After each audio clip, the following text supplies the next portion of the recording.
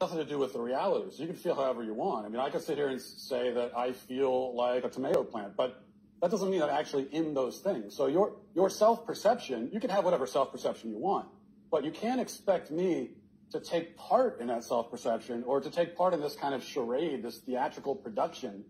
You don't get your own pronouns, just like you don't get your own prepositions or your own your own adjectives. You know, it's like if I were to tell you my adjectives are handsome and brilliant. And no matter whatever you're talking about me, you have to describe me as handsome and brilliant because that's how I identify. It makes no sense. You don't get your own pronouns. I think it's it's delusion. It could be mental illness. It could be it's, it's a lot of different. With, with children, wow. you know, there, there's also just a basic confusion that all kids have. When a four-year-old boy comes to you and says, "Oh, I'm a girl," here's a good follow-up question: What is a girl?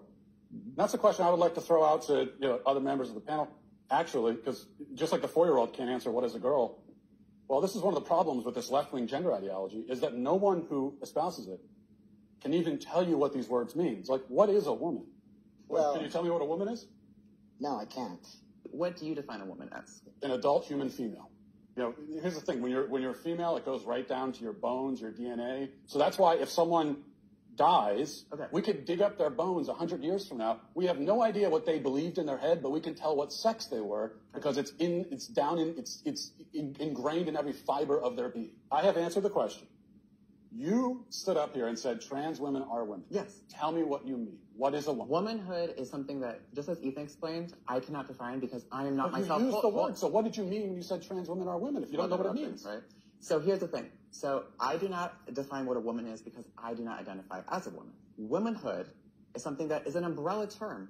It includes people that who describes what? People who identify as a woman. Identify as what? As a woman. What is that? Was to each their own. But listen, you listen, tell me you what want the to word reduce, means, though. So you want to reduce problem. women, you want to reduce men down to maybe just their genetics, our genitals, no. our chromosomes, right? That's what you're what saying. You want to do is, what, what you what you want to do is appropriate women. You want to appropriate womanhood okay. and turn it into basically a costume that can be worn.